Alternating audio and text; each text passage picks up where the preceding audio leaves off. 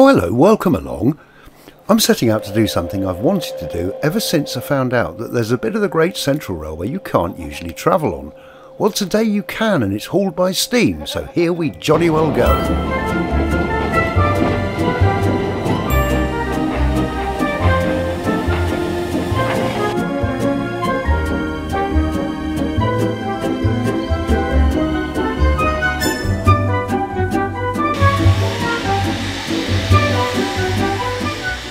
You know about UK heritage railways, you'll know that the Great Central Railway operates between Loughborough and Leicester North.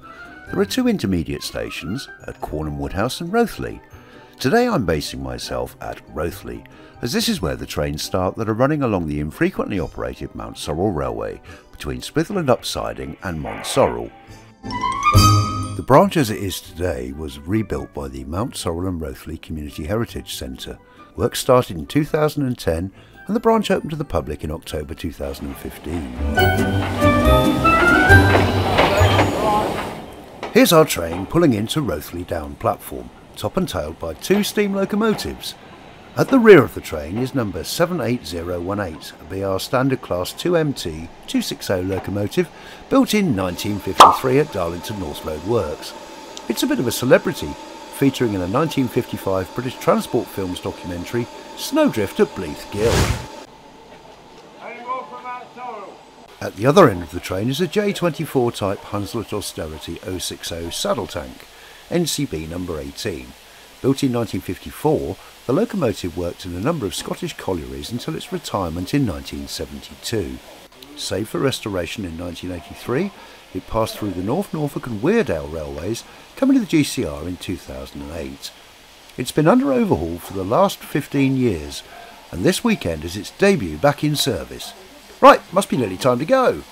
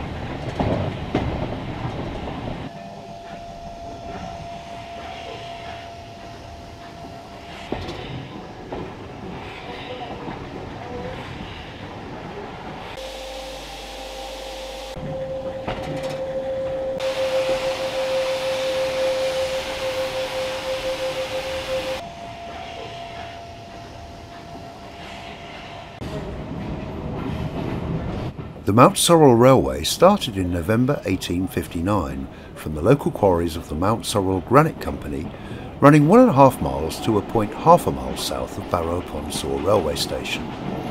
By the end of the century, there were eight and a half miles of track serving the local quarries. The line was extended and by 1898 ran to the Great Central Railway at Swithland Sidings. The line fell out of use in the 1950s, the track taken up in the 1960s and most of the route was abandoned.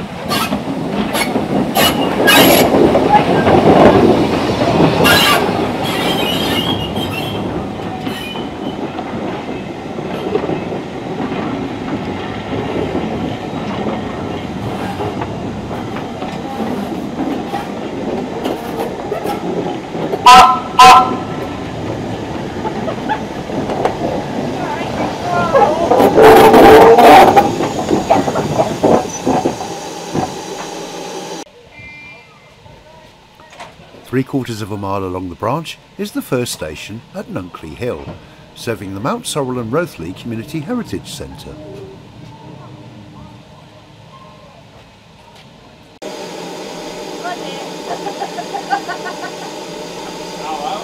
We're off to the terminus at Mountsorrel now, around two-fifths of a mile or 600 metres further down the line, where Bond Lane crosses the track bed.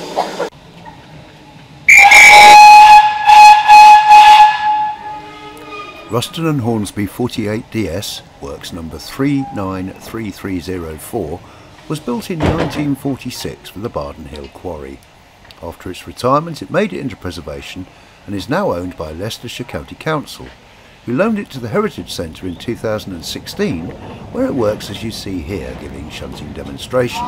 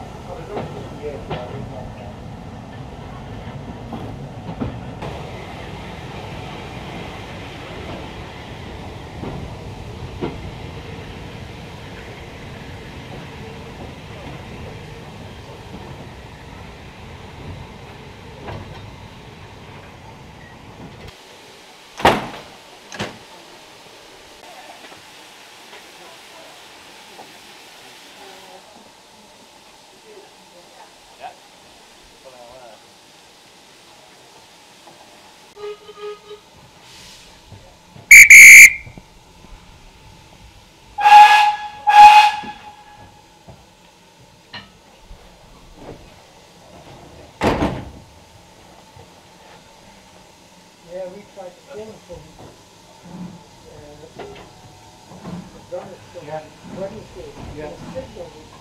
Yeah.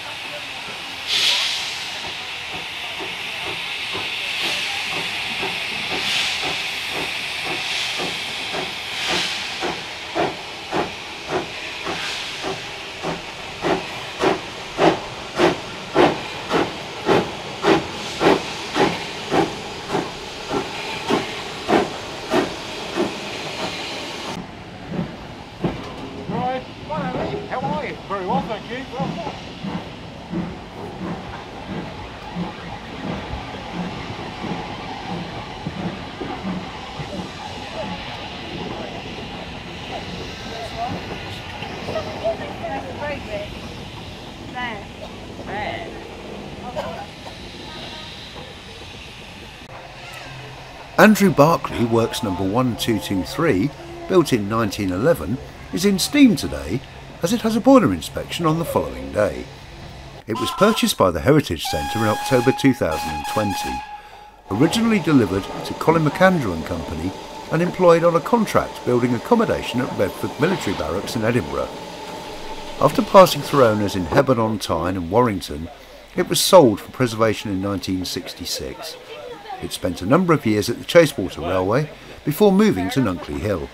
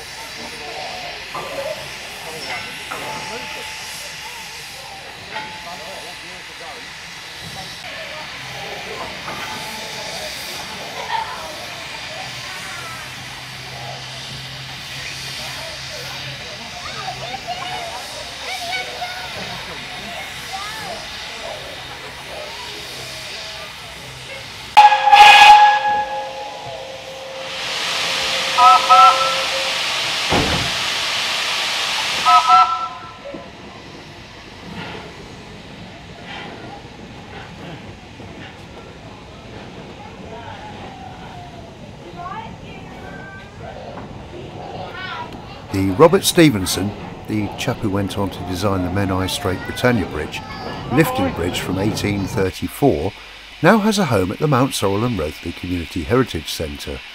It originally crossed the Grand Union Canal on the Leicester and Swannington Railway. Rescued in the 1960s as a historically important example of Robert Stephenson's early work, it has been reconstructed using new timbers, as the originals did not survive, but with the period cast and wrought iron works.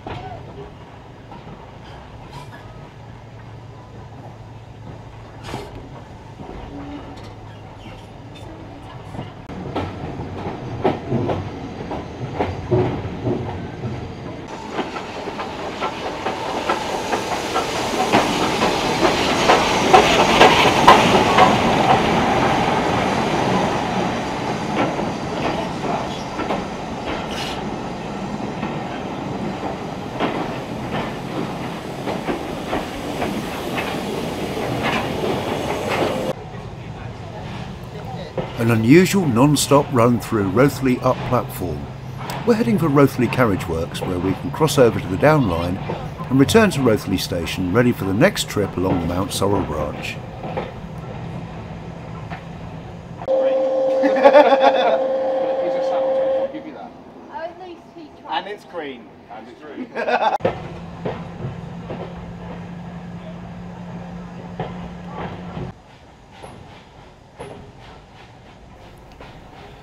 The Mountsorrel and Rothley Heritage Centre is an excellent place to visit, even if the branch line isn't operating, so I definitely recommend it.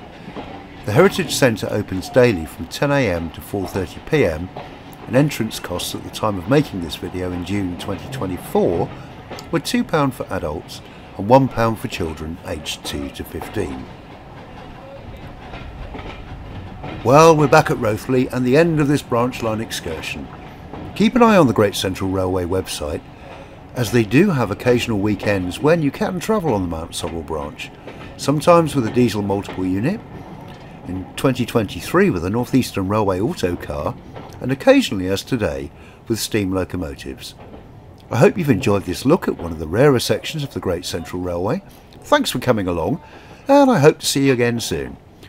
Keep an eye out for the next video coming up on the GCR Night Gala, featuring steam and diesel traction on passenger freight and parcels trains operating in the dark. See you soon!